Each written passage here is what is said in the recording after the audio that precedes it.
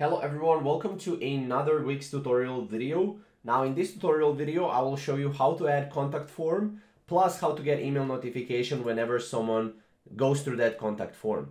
So first of all, what we need to do is we need to go to add elements here. And once we go to the add elements, we can go for search. Here, we can actually type in contact.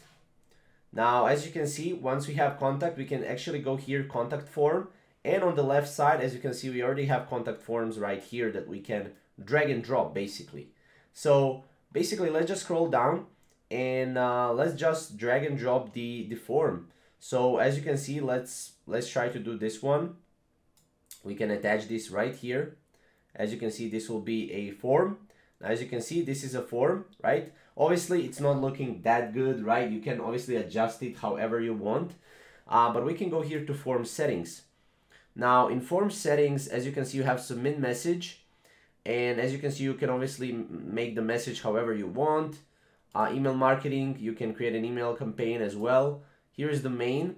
You can set up uh, email notifications as well. Uh, collect any type of info from your visitors, okay? In settings, get notified of each form submission.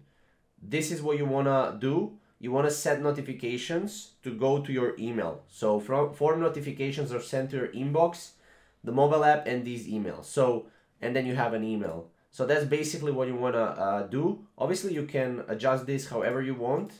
Um, you can also, you know, have a, a, design settings, not just form settings. Then you can customize the design as well.